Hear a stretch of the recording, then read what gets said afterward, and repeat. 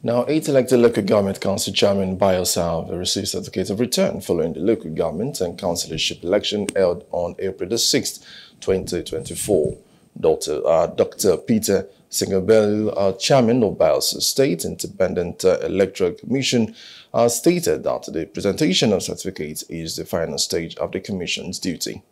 It is a brief ceremony, but very important. But this is the last step on the part of ICF in the 2024 elections.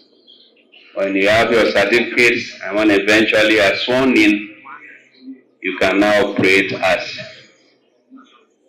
elected chairman of eight local government areas, and that is the third tier of government, the democratic setup at the grassroots. Now, some uh, chairmen, after receiving the certificate, have pledged to fulfill their campaign promises by investing, investing in projects that benefit their councils.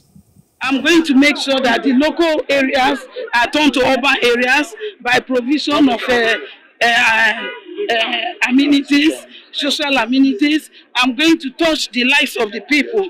Physically, they will know that things have changed. You know, you women, we are peculiar in doing things. I'm going to involve money to the girl child, training of the girl child. I've looked for this thing for over the years. I know that I have something to offer. And now that I've been given the opportunity by the special grace of God, I know that starting the job people will see good governance, bringing the government closer to the people, good hospitals, good schools. We have arable lands where people can work. We are going to encourage agriculture. We are going to engage in youth development through trainings. Yeah, there are a lot of skills that our youth can learn and then make a living for themselves. That will take them off the streets. So we are going to engage in youth training and retraining. We are also going to engage in sports. Sports is another place that can take our youth. Today we have a lot of uh, uh, international champions, you know, both football, wrestling, swimming. So we are going to also engage our youth in sports programs.